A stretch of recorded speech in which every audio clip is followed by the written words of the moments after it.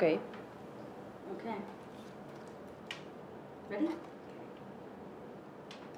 Hi, I'm Nicole Scott for Netbook News. I'm down here at Inventec Appliances here in Taipei, Taiwan.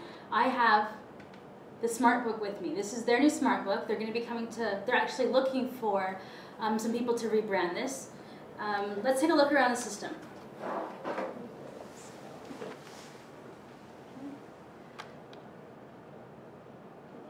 So here we've got the PSU, the Ethernet cable, the VGA, two USBs, microphone and headphone. Around the front, there's the card reader. Uh, this is actually the only storage available on this SmartBook because it doesn't have any onboard storage. On the, on the side, we only have the exhaust fan and the Kensington lock. Nothing around the back. And the back panel is very easily accessible. Um, I'm not sure actually if we are able to upgrade the, the memory anymore, but I do know that it comes with 4 gigs of RAM already. Um, I'll post something right here to let you know uh, if it is upgradable. All right, the battery size right here, let's take a look.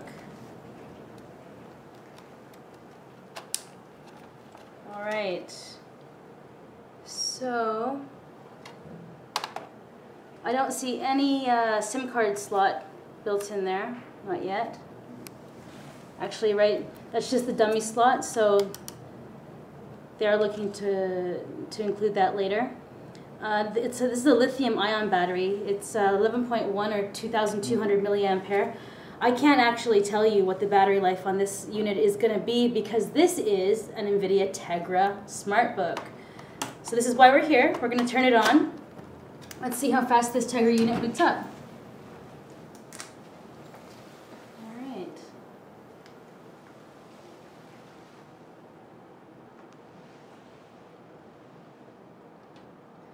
Right, so this is on the NVIDIA uh, Tegra T600.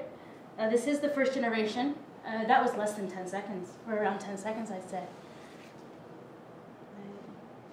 So as you can see here, it is on Windows CE. So it's super basic.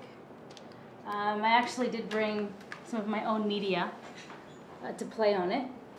Let's just check it out here. Now the audio, um, I can't seem to get it working uh, here on the device. But let's show you some playback anyways.